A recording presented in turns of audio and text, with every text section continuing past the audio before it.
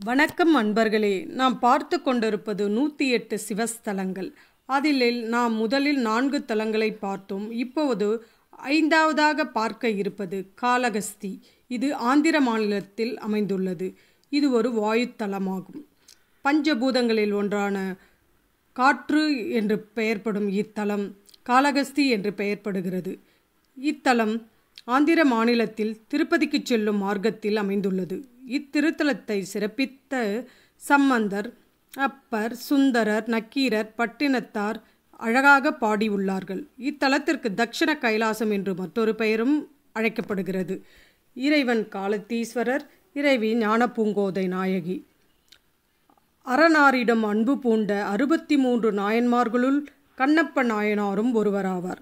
இவர் ஒருமுறை காட்டிற்கு வேட்டையாடச் சென்ற கண்ணப்பனுக்கு மலை மீதுள்ள குடுமி தேவரிடம் பக்தியும் அன்பும் ஏற்படுகிறது. குடுமி தேவர் தேவருக்கு சிவக்கோச்சாரியார் பூஜை செய்துவிட்டு டெய்லியும் செல்வார். அதை அதன் பிறகு கண்ணப்பனும் அவன் பூஜையை தொடங்குவான். அதுவும் எப்படி தொடங்குவான்?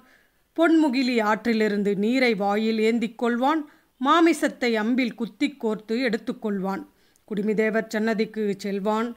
புஷ்பத்தால் பூஜை நடந்திருப்பதைக் கண்டு கோபியாவான் அபச்சாரம் அபச்சாரம் என்று தனக்குள் வருந்துவான். சிவன் திருமேனியை காலால் சுத்தம் செய்து நீரால் சிவலிங்க திருமேனியில் வாய் நீரை அபிஷேகம் செய்வான். மாமிசத்தை சுவாமி முன் வைத்து பூஜிப்பான். இது வாடிக்கையான வேடிக்கை வழிபாடு. மறுநாள் பூஜைக்கு வரும் சிவக்கோச்சையார் இறைவன் முன்னால் மாமிசம் கிடைப்பதைக் கண்டு அபச்சாரம் அபச்சாரம் என்ன இது அசிங்கம் என்று சத்தமிடுவார். சிவன் திருமேனியை சுத்தம் செய்து முன்போல் புஷ்பத்தால் ஆராதனை செய்துவிட்டு வீட்டிற்கு திரும்புவார். இப்படியாக கண்ணப்பனும் சிவக்கோச்சாரியாரும் ஈசனுக்கு மாறி மாறி பூஜை செய்து வந்தனர். உண்மையை இவர்கள் அறியச் செய்ய திருவுள்ளம் பற்றிய ஈசன் சிவக்கோசியார் கனவில் எழுந்தருளி கண்ணப்பனின் பக்தி மறுநாள் உணர்த்துவதாக சொல்லி மறைகிறார். வழக்கம் போல் சிவபூஜையை முடித்த சிவக்கோச்சாரியார் ஒரு மடத்துக்கு பின்னால் மறைந்து கவனிக்கிறார். அது சமயம் கண்ணப்பன் வாயில் நீரும் அம்பில் மாமிசமும் கொண்டு வருகிறான்.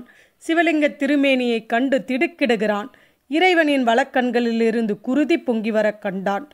தின்னன் தணல் மேல் புழுவென துடித்தான். செய்வதறியாது திகைத்தான்.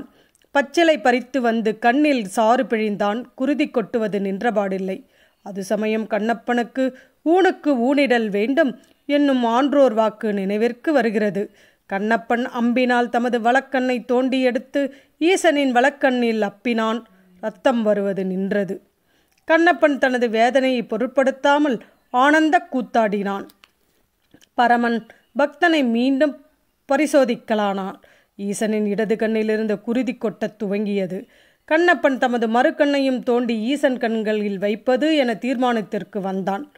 இந்த கண்ணை பறித்துவிட்டால் இறைவன் கண் இருக்குமிடம் தெரியாத போய்விடுமே என்று எண்ணிய கண்ணப்பன் தமது செருப்பு காலால் ஈசனின் கண்களில் அடையாளமாக வைத்துக்கொண்டு அடுத்த கண்ணை தோண்டி எடுக்கப் போனான். அப்பொழுது நம் இறைவன் அழகாக அவன் முன் கரம் பற்றி நிற்க கண்ணப்பா நிற்க என்று அன்புருவே நிற்க என்று திருவாய் மலர்ந்தார். இறைவன் கண்ணப்பனை தழுவி மகிழ்ந்தார். கண்ணப்பன் கண் பெற்றான்.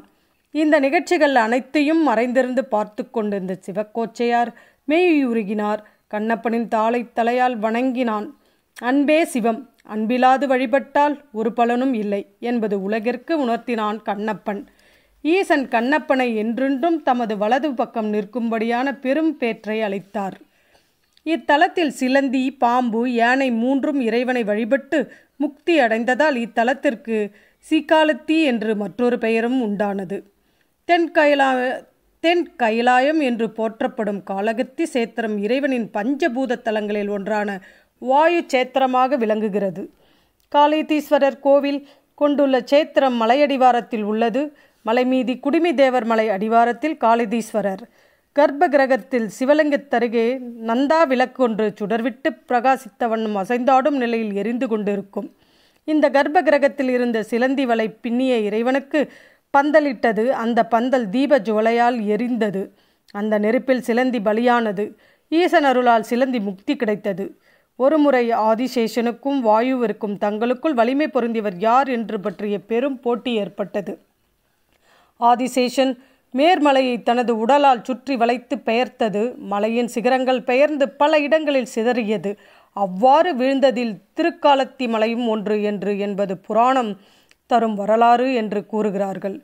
ஈசன் யானைக்கும் ஆதிசேஷனுக்கும் மோட்சம் கொடுத்த மோட்சம் கொடுத்தது இங்குதான். இத்தர இத்திருக்கோவிலில் ராகுவும் கேதுவும் ஒன்றாக ஆவிப்பவித்துள்ளார்கள். இத்தலத்தில் ஒரு தனிச்சிறப்பாகும் நவகிரகங்களுக்கென்று தனிச்சன்னதி கிடையாது. நவகிரகங்கள் சுவாமிக்கு கவசமாகும் நிலையில் ஒன்பது பகுதிகளுடன் கூடிய ஏணி ரூபத்தில் அமைந்திருப்பதை காணலாம். ராகுவும் கேதுவும் தனித்தனியாக தெரிவதற்கு கடைசி இரு படிகள் மட்டும் சற்று விலகிய வண்ணம் இருப்பதனை காணலாம். ஒவ்வொரு படியிலும் மூன்று நட்சத்திரங்களாக இருபத்தி ஏழு நட்சத்திரங்களும் மூல விக்கிரகத்தில் அடங்கியிருப்பது இக்கோவிலின் ஒரு தனிச்சிறப்பாக போற்றப்படுகிறது. சுவாமியின் நாகரூபம் ராகுவாகவும் அசையும் தீபம் கேதுவாகவும் கருதப்படுகிறது. காளகஸ்தி சேத்திரம் ஒரு நவகிரக தோஷ நிவார்த்தியாகவும் நவகிரக கோவில் என்றும் போற்றப்படுகிறது. இக்கோவில் மிகவும் சிறப்புற்று விளங்கி பஞ்சபோதங்களில் ஒன்றாக விளங்குகிறது. இது காற்று என்று வாயு என்றும் போற்றப்படுகிறது. அன்பர்களே இச்சிறுகதை பற்றி நான் கூறியிருப்பது பிடித்திருந்தால் என் சேனலை சப்ஸ்கிரைப் செய்யுங்கள். நன்றி வணக்கம்.